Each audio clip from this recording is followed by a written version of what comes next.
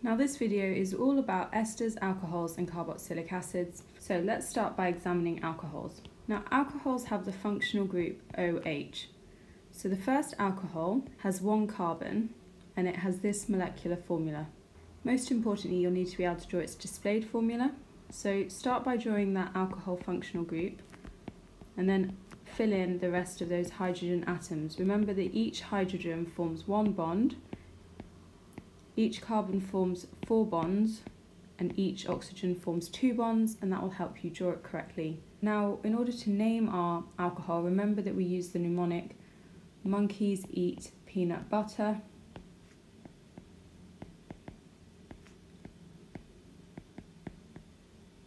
and that will help us remember our prefixes. So monkey stands for meth, eat stands for eth, peanut stands for prop, butter stands for bute, and so because we're looking at one carbon, we therefore know that our alcohol is called methanol. And the last thing to be aware of is that all alcohols end in ol. So drawing the second alcohol should be nice and straightforward. Our molecular formula here is C2H6O. So draw those two central carbon atoms, add that alcohol functional group, and then fill in with hydrogens. Because it has two carbons, we're therefore looking at EAT, so that's ETH. So the second alcohol is called ethanol, which is the one you're probably most familiar with because it's what's found in alcoholic drinks and it ends in ol. Looking at the third alcohol now, C3H8O. Draw those three carbons, add your OH functional group, complete the hydrogens. Monkeys eat peanut means that the third alcohol is called propan Notice that that OH functional group occurs here, and that's on the first carbon. Remember the whole molecule could be rotated. In chemistry, you always start with the fewest number of carbons when you're naming, so that's why we call that carbon number one as opposed to carbon number three. The OH functional group occurs there, which is why this alcohol is called propan-1-ol.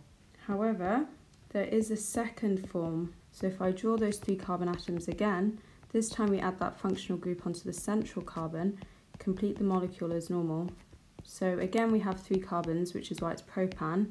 However, this time the OH functional group occurs on the second carbon, so that's why the name of this alcohol is propan-2-ol. Now check out the statement I've made here, which is that propan-1-ol and propan-2-ol are isomers. And the reason they're isomers is because look, they both have the same molecular formula, but they have different displayed formulae. That OH functional group has shifted and as a result we can say that they are isomers. And so the definition of an isomer is that it has the same molecular formula but different displayed. And then finally, let's draw the fourth alcohol. So as you would expect, C4H10O is the molecular formula. Let's draw four carbons in a row. Draw that functional group. I'm just going to draw it here for a change. On that first carbon, I could have easily drawn it over here. Fill in the rest with hydrogens. Let's name it. So it contains four carbons. So according to this, we're using the prefix bute. Then we need to say, where is that OH group? Well, it's on the first carbon, so we need to put a 1 in our name and end it with an ol. So that's butan 1-ol. How about we shift the position of that OH functional group? Let's put it on the second one this time. So down here, fill in our hydrogens. Let's name it, four carbons butane. The OH is on the second carbon, so it's butan 2-ol. Now there's no point trying to draw a third isomer, for example adding the OH here, because remember we can flip the whole molecule, so that carbon therefore becomes the second one. So that's actually it, there are only two isomers of C4H10O. Now we need to turn our attention to carboxylic acids. Now I'm going to write the name of the first one, which is methanoic acid. Notice that it's called meth. Monkeys eat peanut butter because of the one carbon. All carboxylic acids end in anoic acid. Now I'm not going to worry about the molecular formula because I don't think it's at all helpful here. I'm just going to show you how to draw it. First of all, you need to be aware that the functional group of a carboxylic acid is this. And so if I draw that, if that's the bare necessities for that carboxylic acid, we have to do is add a hydrogen in order to complete the molecule and just double check your number of bonds. Carbon needs to have four bonds, one, two, three, four. Oxygen has two, one, two, one, two. Hydrogen has one. Yeah, perfect. So that's the first carboxylic acid. The second one, monkeys eat, therefore is ethanoic acid. We need two carbons this time. Add that functional group for the carboxylic acids and then fill in with hydrogens. And that is ethanoic acid. The third carboxylic acid now is propanoic acid.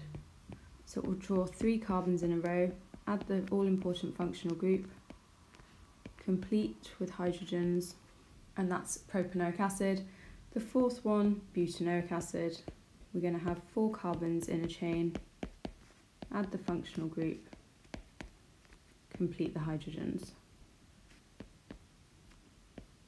And we're done. So now we need to look at esters made when an alcohol reacts with a carboxylic acid.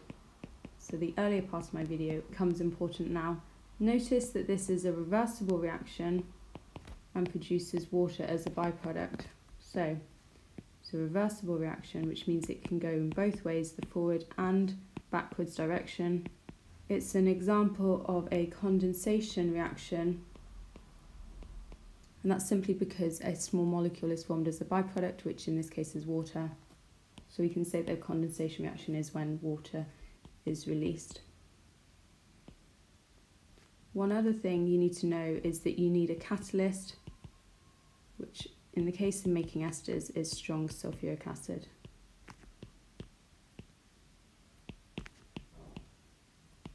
The last thing to mention is the ester functional group.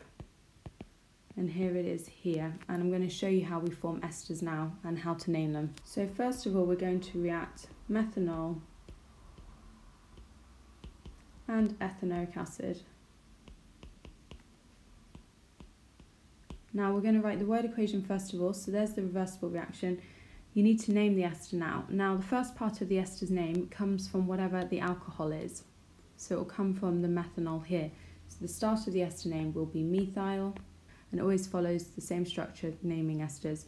The second part of the name comes from the carboxylic acid, so it comes from the ethanoic acid. So the name of this ester is methyl ethanoate. And you need to add your water. Now we're going to draw them. So there's our methanol. Here's our ethanoic acid. So in order to form that water as a byproduct, we need to lose the OH from the carboxylic acid and the H from the alcohol. And it always follows in that way that the OH comes from the carboxylic acid, the H comes from the alcohol. And as you can see, that will form H2O. And then it's just a matter of sticking the remaining parts of the molecules together, like so.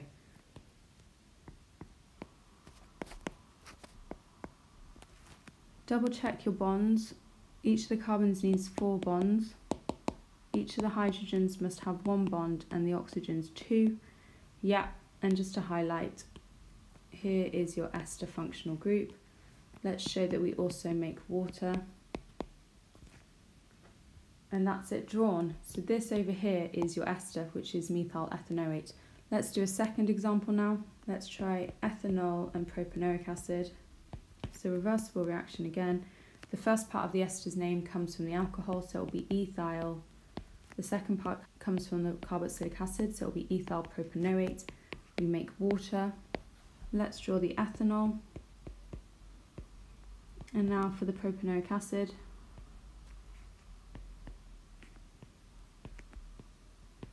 So the ester, we lose this OH here, this H here, and stick the remaining ends together.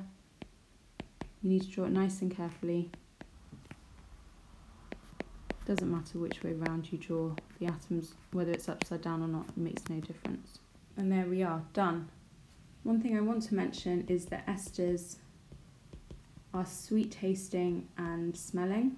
They're volatile, which means they evaporate easily, and they're used in food flavourings.